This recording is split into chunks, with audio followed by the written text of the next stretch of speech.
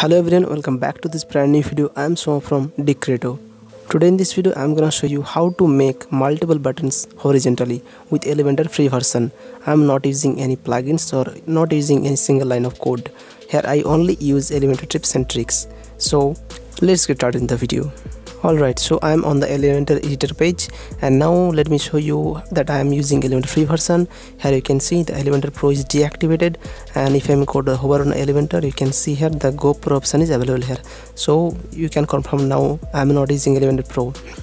Now come to the point that is how to make these multiple buttons horizontally.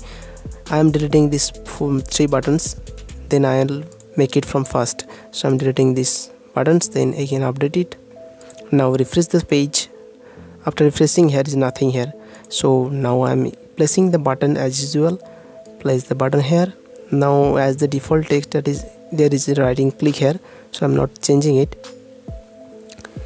After that duplicate the button again and then duplicate one more button if you want. Finally I'm creating these three buttons. So click on this one button and then go to the style tab and border radius I'm giving it border to solid and giving the width will be 0 sorry again deleting it. And then I'm now duplicating it. Again duplicating. Now everything is fine and three buttons are now placed in vertically. So how to make it to horizontally? If you notice here if I click on this button then go to the advanced tab and you can see the position. It will be absolute fixed and default. So before the position you can see the width. So in the width section you have to change the width. So click on this then select inline auto. Now you can see this is now being centered. At this case the second button will be same thing. The click on this button and then go to the advanced tab. Then width will be inline auto. Then you can see the two buttons stick with each other. I'll show you how to make distance with each other. So click on the another one and then go to the advanced tab and then width will be inline auto. Now you can see the three buttons were equally each other stick with each other. So make the distance from each other then click on this button and then go to the advanced tab unlink this pad margin and then right will be I'm giving it to 50 pixel. Then again click on the second button unlink the margin and then right will be 50 pixel. Now you can see the three buttons are placed in horizontally. So how is the process please comment down below that it can be possible with Elementor free version. I am not using pro or you cannot using any plugins or something or codes.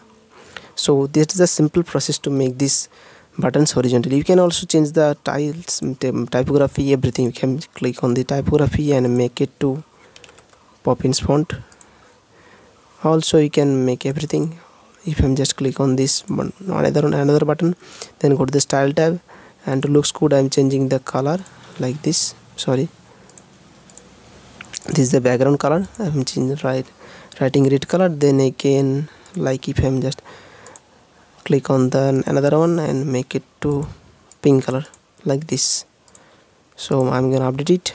Now update this refresh this page. You can see here the buttons are equally placed in the horizontally. That's how we can make the multiple buttons. Also you can make one more if I click on this button like duplicate button. You can see. Also if I click on the duplicate button again and you can see. Multiple buttons you can add infinity buttons as you can.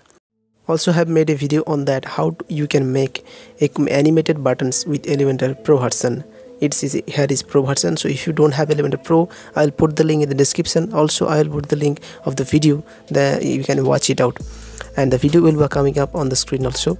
You can check it out here. And if you have learned something new today please make sure that you like this video and subscribe this channel. And you have any ideas about elementor wordpress so you have to comment down. I will make sure that you topic i'll cover the topic later. See you in the next video. Till then bye bye thanks for watching